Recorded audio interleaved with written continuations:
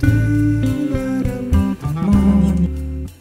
안녕하세요. 머닝입니다. 나 빼고 다 잘 그리는 것 같은 세상에서 나는 왜 못할까 라는 생각이 든다면 제 영상을 한번 참고해보세요. 근데 또 너무 많은 정보들을 한 번에 꾸역꾸역 드리면 여러분들이 힘들 수 있으니까 차근차근 알려드릴게요. 가끔 보면 진짜 왜 가이드라인을 이렇게 무지성으로 사용할까요? 프로들이 하니까? 일단 다 이렇게 하니까 화났냐고요? 아니요 그냥 억울해요. 근데 정말로 수많은 학생분들을 가르쳤지만 이렇게 의미 없는 십자가 가이드라인을 사용한 친구들이 대부분이었어요. 본인이 그린 가이드라인 가이드라인을 별개로 상관없이 막 그리더라니까요. 친구야 넌 이거 왜 그렸니? 헤 그냥 가이드라인인데 진짜 착하기만 한 학생이구나. 그래서 여러분들이 십자가 가이드라인을 그냥 사용하신다면 잠시 멈춰주세요. 그리고 이 영상을 꼭 참고해보세요. 일단 reference 한 장을 준비합니다.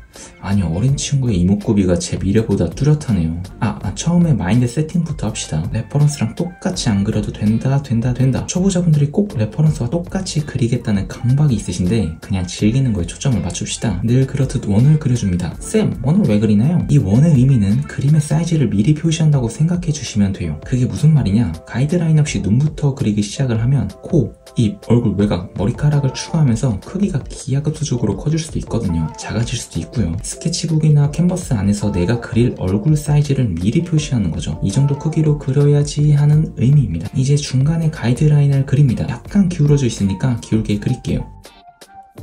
그리고 이제 십자가 가이드라인을 완성하기 위해 가로 라인을 그릴 건데 여기서 stop. 여기서 가로 라인은 뭐 대충 눈 위치를 위한 가이드 라인일 거라고 생각을 하시죠. 반은 맞고 반은 약간 다릅니다. 이거를 본인이 설정을 해야 돼요. 내가 reference를 보고 눈의 위치를 먼저 표시하고 싶다 하면 그건 눈의 가이드 라인입니다. 아니 눈썹을 기준으로 잡고 싶다 하면 그건 눈썹의 가이드 라인이겠죠. 이런 식으로 본인이 명확하게 결정을 지어야 해요. 한 가지 더. 그냥 눈 그냥 눈썹의 위치가 아니라 눈의 가장 밑부분을 위한 라인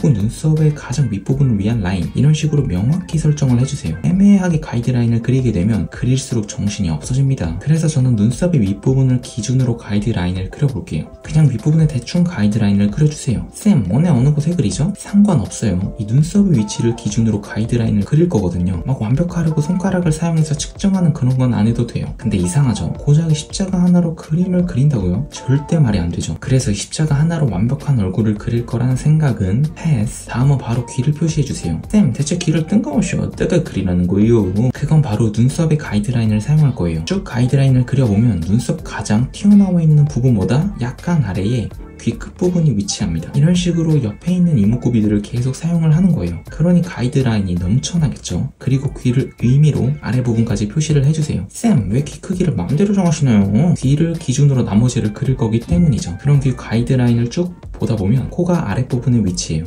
귀보다 아래에 있는 거죠. 감이 오시나요? 계속 이렇게 비교하면서 그리는 거예요. 눈은 이 중간까지 있네요.